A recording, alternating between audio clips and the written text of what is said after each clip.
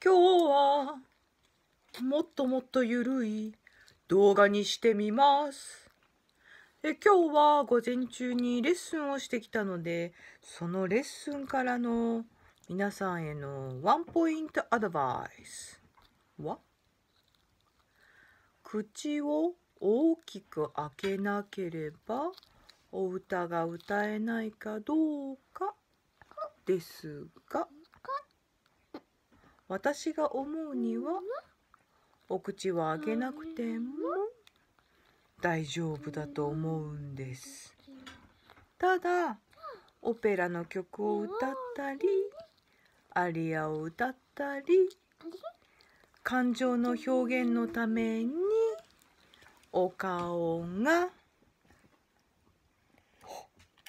てなるのは必要不可欠だとは思います。試しに。何の歌がいいですかね？ね。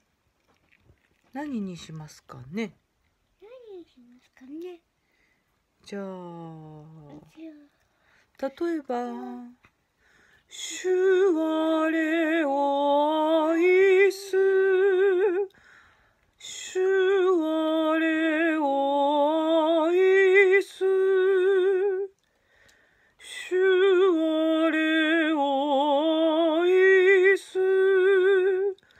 これぐらいでも十分じゃないかなと。もちろん今はわざとシューってやってますけど、シャワー、ウワー、ス、ウーってやる必要は全くないと思うんですよね。そんなことを感じました。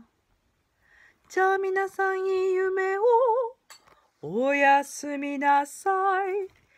チャオチャオチャオチャオ